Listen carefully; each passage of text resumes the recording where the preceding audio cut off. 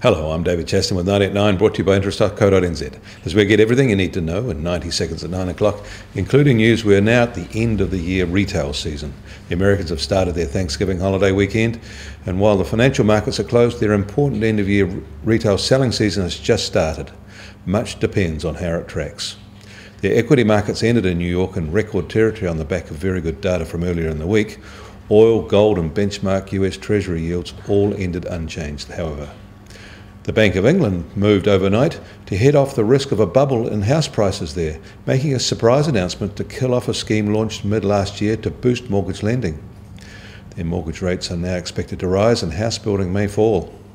In Germany, they have a new government, one led, still led by Angela Merkel, but now including a coalition partner from the left.